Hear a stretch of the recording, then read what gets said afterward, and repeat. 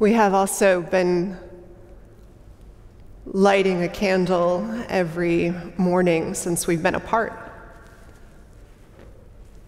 as a symbol and reminder of all of you who are gathered, bringing you into this space until we can be together, body and spirit. So we do that also.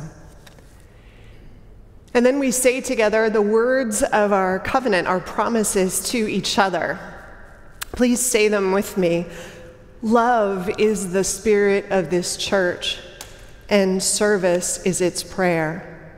This is our great covenant to dwell together in peace, to seek the truth in freedom, and to help one another. Let's sing our doxology together.